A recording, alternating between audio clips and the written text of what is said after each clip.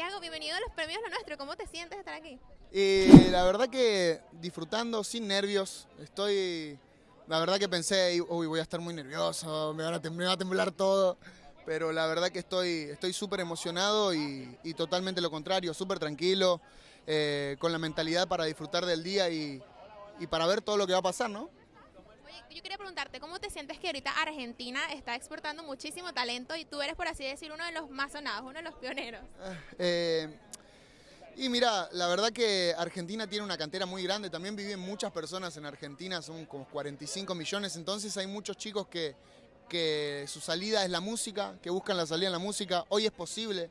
Yo hace dos años no me imaginaba estar acá parado, estar en Miami, eh, y el sueño se cumplió.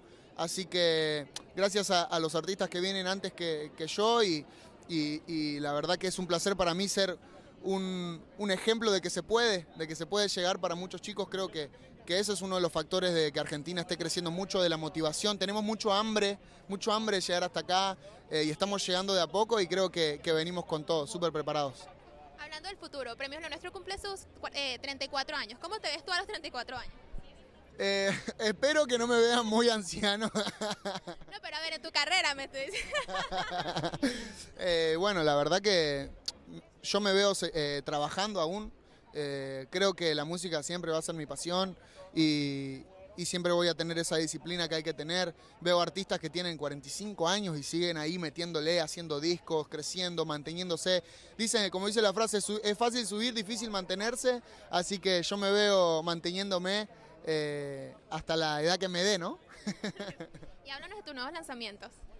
Bueno, eh, últimamente estuvimos sacando, saqué la Visa Rap Session con, con Bizarrap, que la verdad que está rompiendo. Eh, ya va como 70 millones en Spotify y en YouTube.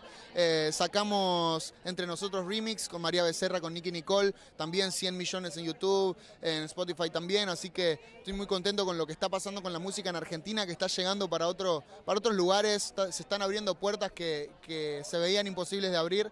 Así que muy contento con eso. Se viene mi disco. Eh, trabajando un montón, la verdad, esperando muchas cosas nuevas y, muy motivado. Pero que si nosotros aquí en Pulso Pop siempre estamos para, para apoyarlos. No sé si le puedes mandar un saludo a toda la gente de Pulso Pop. Bueno, la gente de Pulso Pop, acá Tiago PZK les mando un saludo enorme. Muchísimas gracias por todo el aguante que nos hacen. Besote.